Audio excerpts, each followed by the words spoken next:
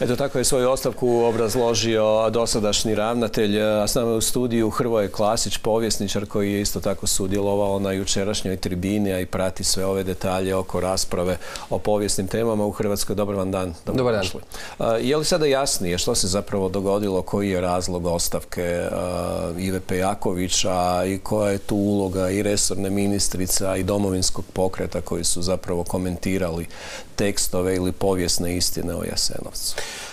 Dakle, da krenem od ovoga e, što je uočeno. Napravljena je fama u, javnosti kao da je ne znam kakva greška se dogodila. Ja bi ljudima koji možda se ne bave povješću e, to objasnio ovako. To vam je kao da e, znate za sastanak na kojem, se, kojem su bili Hitler i Himmler i netko kaže na tom sastanku je Hitler rekao da treba poubijati sve židove. I onda vi kažete da, ali doista na tom sastanku on nije upotrebio reći da treba poubijati židove. Međutim, židovi su nakon toga poubijani. Dakle, da, doista na sastanku Pavelića i Hitlera nije upotrebljen taj termin Endlesung, odnosno konačno rješenje koji se, koji se na Van konferenciji 42. godine koristio za uništavanje židova, ali ono što je uslijedilo i u stvari što je bilo i prije i poslije toga je u principu ubijanje Srba. Dakle, srpsko pitanje je rješavano etničkim čišćenjem, protjerivanjem i masovnim ubijanjem. Ali tu dolazimo onda do možda e, ključnog pitanja. Ako je taj tekst zaista stajao 17 godina, zašto je on sada postao pa, sporan u ovom e, mislim, sada se dakle pojavila jedna ta, da tako kažem, organizacija koja se bavi e, fact-checkingom, odnosno čekiranjem činjenica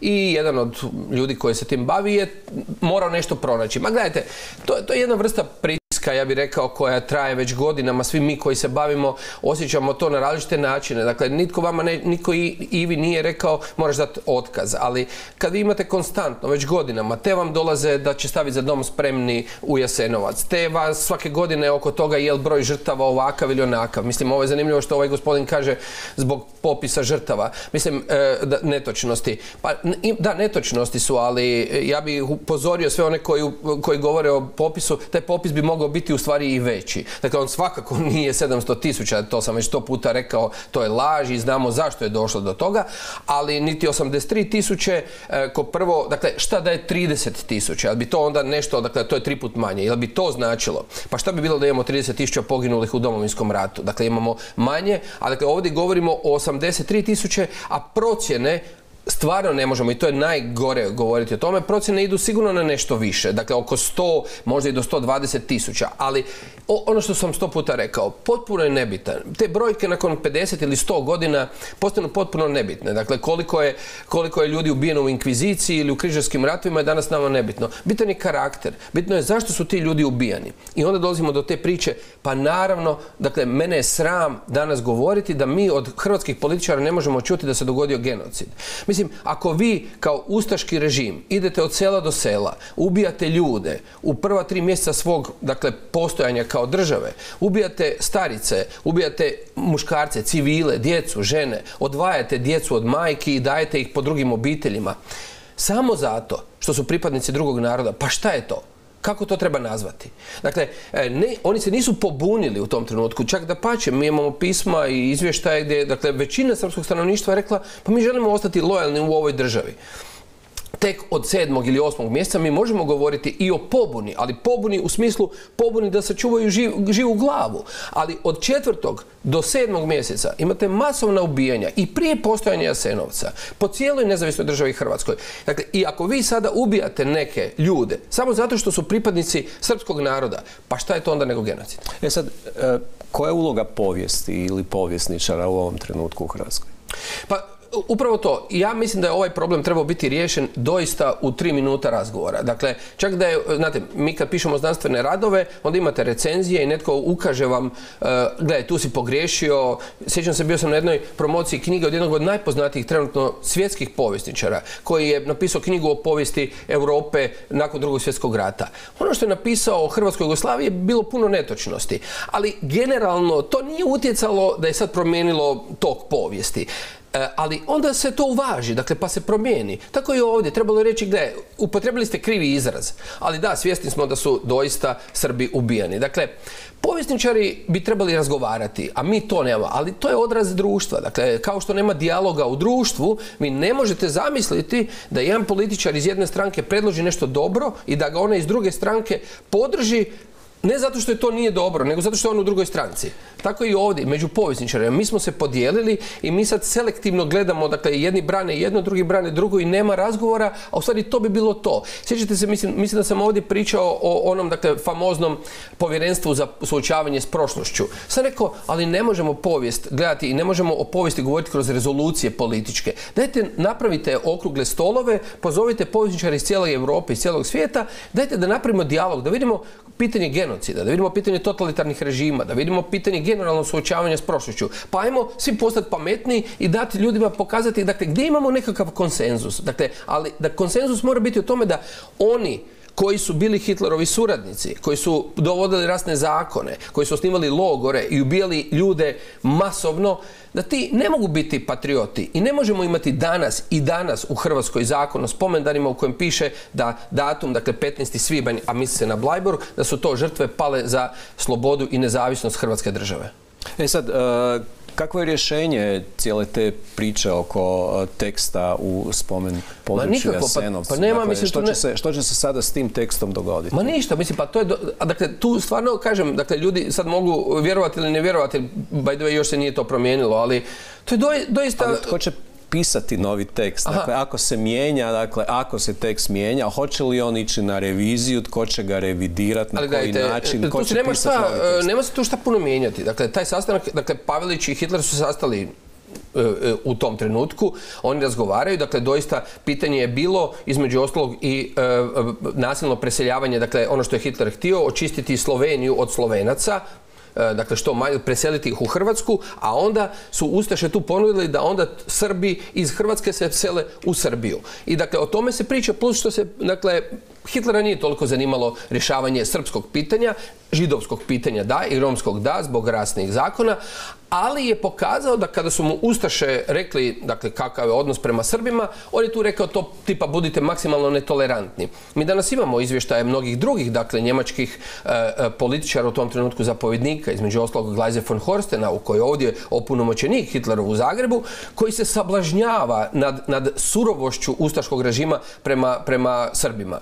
Dakle, tu ništa nije sporno. U toj, treba izbaciti u toj rečenici da, je, da, da se razgovaralo o konačnom rješenju srpskog pitanja ubijanjem, ok. I dakle, sve ostalo je točno i precizno. Jer da nije, naveo, navelo bi se to. Dakle, u tolikom tekstu, na toliko toga što tamo piše, da vi pronađete da u stvari jedna formulacija nije izrečena, ali se ona u stvari dogodila. Mislim da to stvarno nije problem nikakav. što je sa zapravo stavom kojeg smo čuli ovdje predsjednika vlade kako je tu stvar potpuno jasna kako je to pitanje za vladu riješeno. Je li nije to zaista riješeno? Nije riješeno. Po dan nije riješeno zbog toga što se nismo, evo i do dan danas nemamo e, stav jasan što je za dom spremni. E, dakle, i kako kad čujemo uzvikivanje za dom spremni, kad vidimo e, da se u nekakvim insignijama pojavljuje za dom spremni, nemamo jasan stav da je to ustaški pozdrav. Nikad prije nije postojao u hrvatskoj povijesti pod imenom, dakle po tim riječima, za dom spremni nikad nije postojao. Onaj ko kaže laže i neka pokaže bilo koji dokaz. Nikad niko nije pokazao nijedan dokaz jer ga nema. Druga stvar je genocid. Dakle, ja sam, moram priznati, ostao šokiran. E, pisao sam nedavno jednu kolumnu i rekao sam, a dakle reći ću to vezano u Srebrenicu u genocid. Sam rekao, mislim, e, u Srbiji bi se trebali e, suočiti s time i prihvatiti to kao što je u Hrvatskoj prihvaćeno. Onda mi neko rekao, ali nije prihvaćeno. Ajde pogledaj malo izjave hrvatskih političara i čuj kad je netko rekao za genocid nad Srbima. Doista sam išao provjeravati stvarno, dakle, nitko od hrvatskih političara ne spominje riječ genocid. Dakle, da, za židove, da za Rome, ali ne za Srbe. I u stvari zašto? Dakle, ne zato što se nije dogodio, nego zbog onoga kakvi su naši odnosi sa Srbima od 90-ih do danas. I to je katastrofa. To je politiziranje povijesti, jer mi kroz prizmu 90-ih i kakav je odnos danas, te Vučića, te Vulina, te Dodika, te ono, mi danas govorimo o tome. Samo da kažemo ovako, neko će reći nije se dogodio genocid nad Srbima. Zato što kad pogledate koliko je uništeno židovske zajednice, Ustaše su pobijeli otprilike 80% židova na području NDH. Ubijeli su oko 90% Roma na području NDH. Međutim, taj postotak Srba je bitno manji, ali ne zato što nisu htjeli poubijati, nego za razliku od židova i Roma, e, velika većina srpskog stanovništva se pobunila u jednom trenutku u ljeto 1941. godine, tako da je taj genocid u jednom trenutku spriječen, ali da se nisu pobunili, sigurno bi imali sudbinu kao i ovu. Dakle, se, nismo se riješili. Ako oni danas imaju problem zbog aktualnih odnosa sa Srbijom ili zbog rata 90-ih, ako imaju problem reći da je nad Srbima doista ustaški režim, ne Hrvati, dakle Hrvati su sudjelovali u antifašističkom pokretu više nego u ustaškom pokretu, ako imaju problem reći da je počinjen genocid, onda i dalje imamo problem. E sad, naravno da se to politizira i na međunarodnoj razini. Imali smo nedavno raspravu u UN-u i glasanje oko e, Srebrenice. E, jedna od inicijativa upravo iz Srbije je bila da se o istoj takvoj rezoluciji glasa u UN-u, ali koja bi osudila upravo genocid nad Srbima u Hrvatskoj. Mogu li se uopće o takvim stvarima tražiti povijesna ravnoteža? Da, i čini mi se da čak u stvari da je iz Crnogore krenulo, čak ne iz Srbije. vidite, e, e, to je, dakle, to sa tom rezolucijom o genocidu u Jasenovcu je e, totalno politiziranje. Zašto? Ja sam napisao, pa sam mnogi u Srbiji šokirao, sam rekao, mislim da je ta rezolucija u principu antisrpska, koju predlažu Srbiji. Zato što u stvari zanemaraju tolike žrtve. Dakle, genocid se nije dogodio samo u Jasenovcu. Genocid, dakle, u Jasenovcu je ubijeno barem četiri puta manje Srba nego u, ostalim dijelovima nezavisne države Hrvatske. Sam rekao, šta je dakle sa Srbima koji su poubijani po Bani, po Glini, Kordunu, Hercegovini, Bosanskoj krajini? Šta su oni manje vrijedni od Srba koji su poubijani u Jasenovcu? Međutim, gledajte, šta je tu poanta kao i sa Srebrnicom? To sam rekao, nekome to, neko kome zna, shvatit će što govorim, a neko će se naljutiti.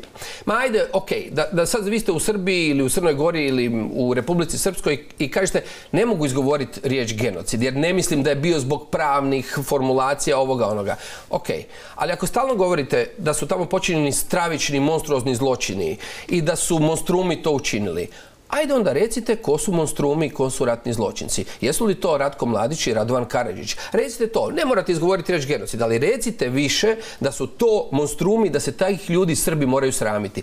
Isto to bi ja očekivao ovdje. I od domovinskog pokreta, i od HDZ-a, i od crkve, i od svih drugih povisničara da kažu pa sad ne znamo da li je baš genocid ili nije, ali da kažemo mi se sramimo Ante Pavelića, Ustaškog režima, nezavisne države Hrvatske, to je dakle nešto što osuđujemo, to su monstrumi, ratni zločinci, je li genocid bio nek pravnici rješavaju, ali to je nešto što potpuno neprihvatljivo. Kad to čujem nedvosmisleno, onda ćemo priča o genocidu u stvari će postati najmanje bitna. Jedna od sigurno povijesnih pa i političkih tema u Hrvatskoj je uvijek to ključno pitanje da postoje ustaški zločini i naravno da postoji zločin o kojem se govori, ali da postoje prešučeni zločini koji je učinjen u ime petokrake mhm. komunizma u Hrvatskoj koje nitko ne obilježava i ne spominje. E sad tu negdje je i korijen zapravo očito ideje koja se ponovo spominje o zabrani petokrake u Hrvatskoj postoji li igdje u Europi politička ideja ili politički plan ili politički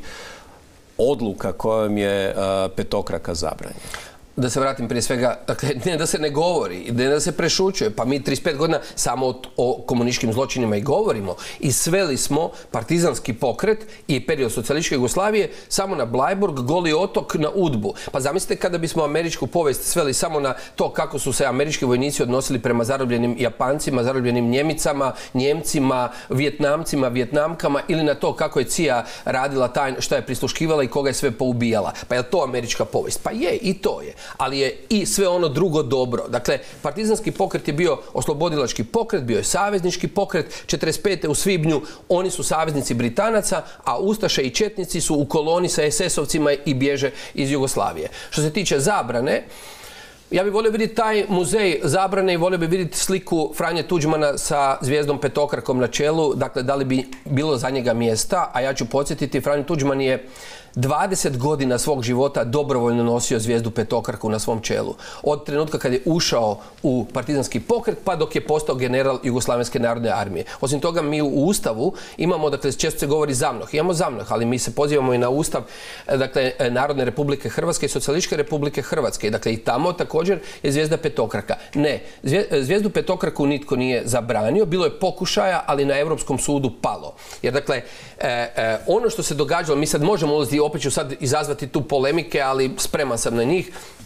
Dakle, u srži ustaškog režima ili četničkog u tom trenutku je etnički čista Hrvatska ili etnički čista Srbija, rasno čista, ubijanje, otvaranje logora.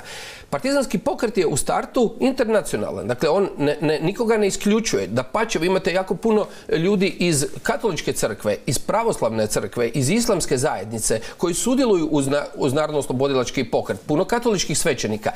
Ali, dakle, da, dogodili su se i zločini, dogodila se osveta, dogodila se i represija i tu nema spora. Komunistički režim doista nije bio nešto u čemu bi mi više trebali živjeti, dakle, u, u jednopartijskom totalitarnom sustavu. Nema uopće tu nikakvog spora. Ali nije sve što je učinjeno. Pa do, nedavno smo rekli da je 9 od 10 bolnica, 9 od 10 škola koje imamo su uh, sagrađene u socijalizmu. Dakle, pa taj sustav je ipak i emancipirao žene, uh, uh, učinio je industrijsko društvo i tako dalje. Dakle, da, bilo je oni koji su pjevanjem pjesama završavali u zatvoru, koji su zbog, ne znam, ovoga ili onoga jer se nisu slagali su završavali u zatvoru. I o tome trebamo govoriti. Ali ne možemo uspoređivati ustaški režim i dakle ono što se događalo niti za vrijeme drugog svjetskog rata od strane partizanki i partizana, tim više što smo mi rušili spomenike žrtvama fašizma i rušili smo spomenike partizankama i partizanima koji su poginuli prije nego što se Blajburg dogodio, Goli otok ili ne znam suđenje Stepincu. A podsjećam, u vrijeme Blajburga, Golog otoka i suđenja Stepincu Franju Tuđman se uspinje u svojoj karijeri. Što ćemo s njim? Što ćemo sa jugoslavenskom zastavom na Potpuno nepotrebno. ponosa? Je li točna ta povijesna činjenica da se u komunističkom režimu nije moglo zamisliti način na koji se danas obilježava povrka ponosa. Ma ne samo to, gledajte, mislim, e, to je to ono što sam rekao na samom početku razgovora. Mi ne možemo tako u rovovima, dakle da je naša, dakle selektivno, gledajte ono što ja sto puta govorim na prošlost kao na samoposlugu i ulazimo i uzimamo iz nje ono što nama odgovara, a zanemarujemo drugo. E, nitko od ljudi, dakle ja sigurno 70 pete da sam živio, sigurno ne bi mogao izgovarati ovo što govorim o kritici e, e, režima u tom trenutku. E, socijalistička Jugoslavija je bila puna dakle, ograničenja u smislu ljudskih prava, medijskih sloboda, političkih sloboda. Tu nema spora. Oni su išli na to da će, ljudima dati posao, da će im dati stanove, da će im dati egzistenciju, mogućnost, ne znam, neke druge mogućnosti, ali ove druge stvari su bile zanemarene. Međutim, biti gej, homoseksualac u Jugoslaviji sigurno nije bilo nešto što, e, što ste mogli ići mahati sa zastavom duginih boja. Dakle, odnos ne samo prema toj manjini, nego dakle i prema čitavom nizu drugih stvari je bio vrlo, vrlo ograničavajući. Tako da je po meni potpuno nepotrebno. Jer većina ljudi, znate, to me podsjeća kao 68. godine kada su e, mladi Francuzi i Amerikanci bili oduševljeni Maovom kinom i, i kulturnom revolucijom. Onda mi je neko rekao, odite tamo pa probajte živjeti koliko biste dana izdržali. Tako i ovdje. Većina ljudi koji danas veliča Jugoslaviju, a da ne uzima u obzir i one negativnosti, vjerojatno bi pobjegli iz te Jugoslavije nakon tri dana. Tako da i to trebamo imati u vidu. Tako se suočavamo s prošlošću. Hvala vam puno na ovoj analizi. Hvala vam.